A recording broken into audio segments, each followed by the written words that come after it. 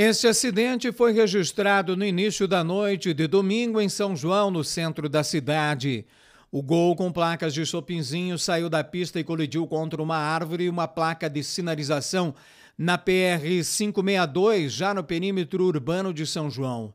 Testemunhas indicaram que o condutor seguia sentido a cidade de São João quando, após o primeiro trevo que vem de Chopinzinho, perdeu o controle da direção, saiu da pista e bateu no sentido contrário. A forte pancada foi contra uma árvore e uma placa de sinalização.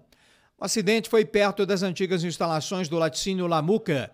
A pancada foi forte, quase dividindo o gol ao meio e, incrivelmente, o condutor, identificado como Ademar Curpel, 40 anos, sofreu apenas ferimentos leves, atendido por uma equipe do SAMU e conduzido ao hospital de Chopinzinho. As imagens são de Douglas Nunes, da Rádio São João.